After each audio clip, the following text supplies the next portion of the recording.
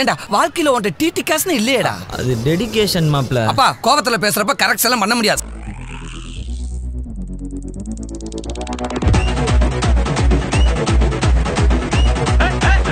Hello மச்சான். RRB exam எழுத பூனே வரைக்கும் போகிறேன்டா ஆ ஏர்போர்ட்டில் தான் இருக்கேன்.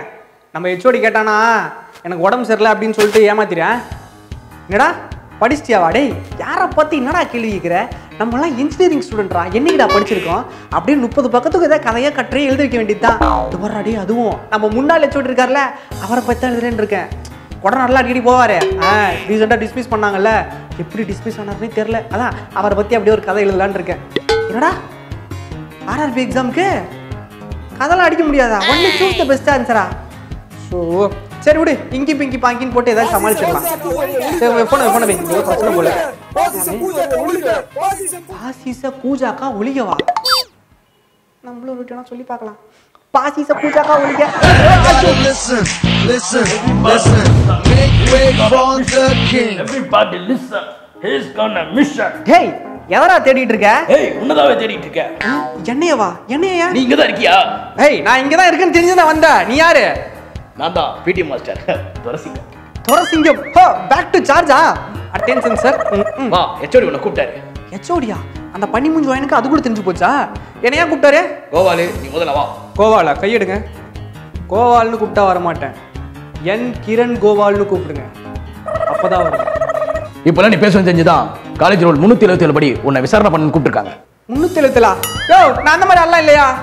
அதெல்லாம் எனக்கு தெரியாது. மேல இடத்துல இருந்து கூப்பிட இருக்காங்க. விசாரணையா? வா. விசாரணையா? வாயா. ஹெச்ஓடி ஒளிக பாசிச ஹெச்ஓடி ஒளிக காலேஜ் கட்டஸ்ட் வெளிய போலாம்னு பார்த்தா. ஏய் டேய் ஹெச்ஓடி இருக்காரு? கரஸ்பாண்டன்ட் இருப்பாருன்னு பார்த்தா. கரஸ்பாண்டன்ட் வாயா கோவாலு உன்னதான் எதிர்பார்த்துட்டு இருந்தேன். எதுக்காக உன்னை வராச்சேன்னு தெரியுமா? எனக்கு எப்படி தெரியும்?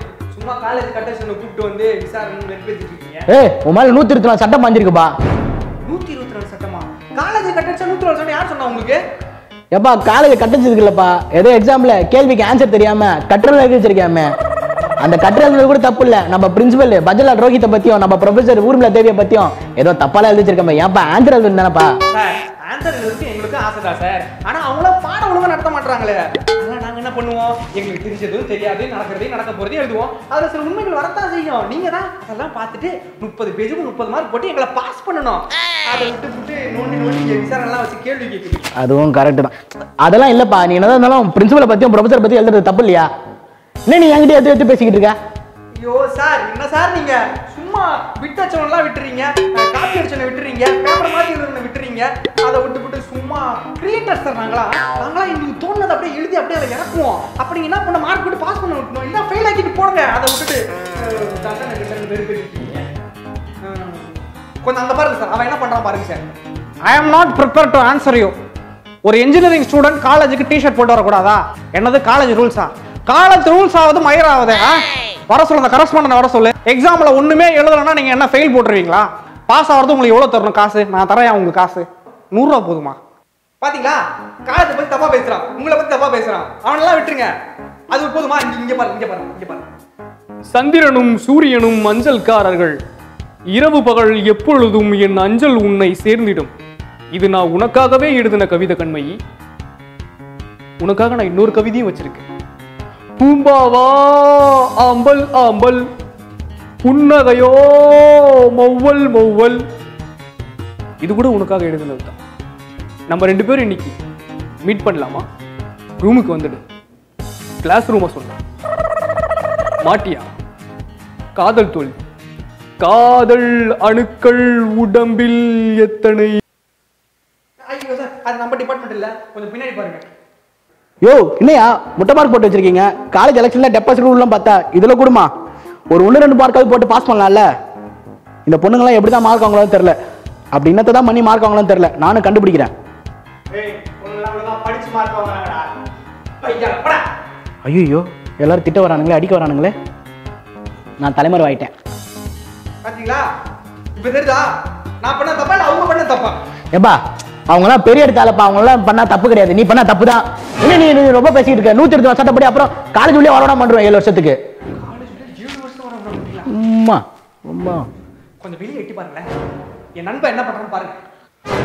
ஏ கரஸ்பாண்டன்ட் நான்லாம் காலேஜில் எவ்வளோ பெரிய டானு? எத்தனை வாட்டி காலேஜ் கட் அடிச்சிருக்கேன் என்ன எல்லாம் கூப்பிட்டு விசாரிச்சிருக்கியா? என் நண்பனை கூப்பிட்டு விசாரிக்கிற? அவன் அப்படி என்னையா பண்ணான் ஆ? எக்ஸாம்ல ஏதோ அவனுக்கு தெரியாத எழுதியிருக்கான் கதை. அந்த கதை உண்மையா இருக்கும் அப்பப்ப. நாங்க என்ன படிச்சது மண்டையில ஏறல அவ்வளவுதானே? அதனால நாங்களாம் ஒன்று எழுதுவோம். நீங்க ஃபெயில் போட்டு போங்க. அதை விட்டு விசாரிக்கிறீங்களாமே? செக்ஷன் நூத்தி இருபத்தி நாலு அதெல்லாம் என்னையா செக்ஷனு என்ன கூப்பிட்டு உள்ள போடியா? இது எங்களோட சுதந்திரம். எழுதுறதுன்றது எங்களோட சுதந்திரம். அதை எப்படி நீங்க விசாரிக்கலாம்? நீங்க இப்ப அவனை வெளியே விடலனா நான் இங்கேயே உட்கார்ந்து தர்ணா போராட்டம் பண்ணுவேன். மீசக்கார நண்பா உனக்கு ரோசம் அதிகண்டா அதை விட எனக்கு உன் மேல பாசம் அதிகண்டா பாத்தீங்களா என்னண்ணே நீங்க என்னதான் இருந்தாலும் டிஸ்மிஸ் பண்ணீங்கன்னா அடுத்த எக்ஸாம்ல உங்களை பத்தி நான் எழுத சொல்லுவேன். பார்க்கலாமா? என்னது என்னை பத்தி எழுத சொல்லுவானா? தம்பி பிட் அடிக்கிறது தான் தப்பு காப்பி அடிக்கிறது தான் தப்பு கதை எழுதுறதுலாம் தப்பு கிடையாது. கருத்து சுதந்திரம் எழுத்து சுதந்திரம். எப்பா நீ போலாம்பா. அஹ் தம்பி தம்பி என்னை பத்தி எதுவும் எழுதுறாதப்பா.